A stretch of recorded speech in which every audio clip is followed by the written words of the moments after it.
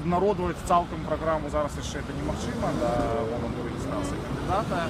Але калі браць нейкія такія пункты, якія тычацца правапорушчай тэматыкі, то абавязкова там будзе пункт пра э, адмену смяротнага пакарання Беларусі. Ну, напэўна, вы ўжо ведаеце, што адным з першых указаў, якія плануе выпусціць э, новаабраны прэзідэнт Караткевіч, будзе вызваленне ўсіх палізняволеных.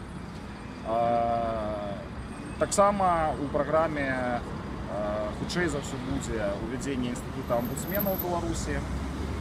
Вось. Ну і натуральна змены ў заканадаўстве, якія тычацца такіх артыкулаў, як дзейнасць ад імя незарэгістраванай арганізацыі ці іншых падобных артыкулаў, якія скіраваныя на абмежаванне грамадскай, палітычнай іншай актыўнасці грамадзянаў.